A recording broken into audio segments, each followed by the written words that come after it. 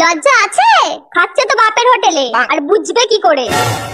কি বড় বালের হোটেল যেখানে বড় মদ পাওয়া যায় না।